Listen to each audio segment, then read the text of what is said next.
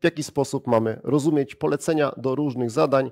Tutaj posłużę się maturą Centralnej Komisji Egzaminacyjnej z 2021 roku.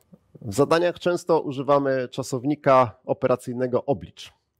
I tak tutaj w zadaniu 21 na przykład mamy oblicz ciepłotopnienia, oblicz wartość siły.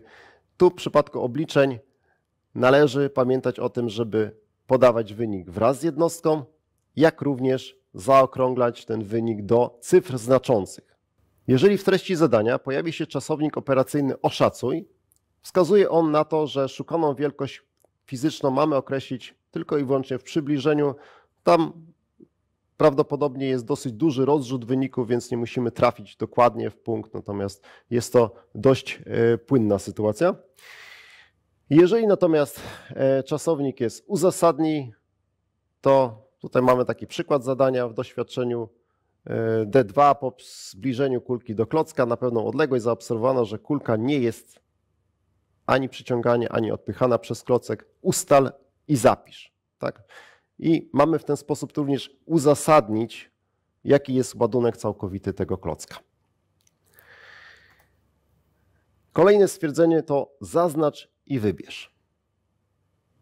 Tutaj jest jednoznaczne określenie, co mamy zrobić. Mamy wybrać coś i zaznaczyć prawidłową odpowiedź na przykład. Kolejne stwierdzenie, które możemy uzyskać, to narysuj, dorysuj, skonstruuj. Również to są czasowniki, które dokładnie nam określają, co należy w danym momencie zrobić. Na przykład narysuj prostą, najlepiej dopasowaną do punktów pomiarowych, skonstruuj rysunek, skonstruuj obraz ogniska w soczewki. Jest to dokładne stwierdzenie, co mamy tak naprawdę zrobić w tym zadaniu.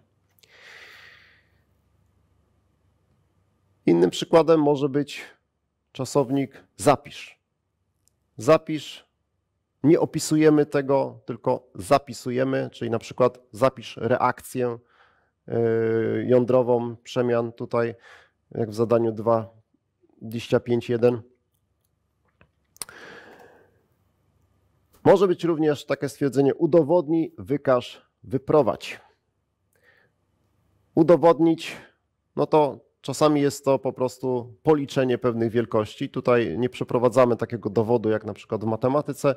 Udowodnij to raczej oblicz i pokaż, że faktycznie wynik y, zgadza się z tym, który był wcześniej y, założony, czyli na przykład tak jak w zadaniu 2.2. Udowodnij, że wartość prędkości kulki chwilę przed pierwszym uderzeniem w podłoże wynosi 6,75 metra na sekundę. Jeżeli to wyprowadzimy, obliczymy, no to w takim wypadku udowodniliśmy to, że tak faktycznie jest.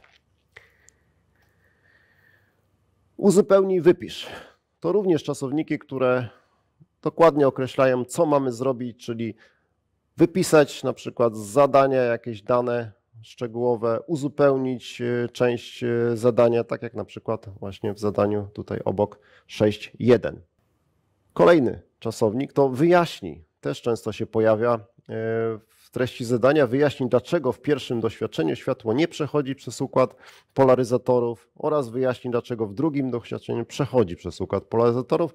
Tutaj krótko, skrótowo, jednym zdaniem, dwoma zdaniami możemy to wyjaśnić.